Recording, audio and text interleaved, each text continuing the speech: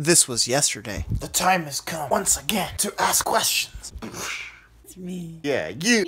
What's something you always wanted to do but never got to do it? I was invited to do this go away for two months of the summer, travel with other teens, 10 different countries. One of the stops was going to be Australia, and I never got to go. What is one of your dreams that I can help you achieve? Get Global Elite on CSGO. I can't help you with that. If you could bring one fictional character to life, who would it be? Maria Von Trapp from The Sound of Music. She could be my governess and teach me all the things. What is your best memory of our dating years? I think when you proposed, it was so thought out. Nice safe pick. If you could master one musical instrument, what would it be? Don't say the pan flute.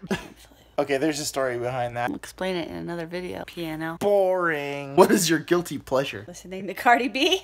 Do you really feel that guilty about it though? kind of do. Ironically, I love her. Ironically or unironically? Mixture of both. Everything is these days. Good job, Christin. Thanks, bud. Next time we'll ask you the questions.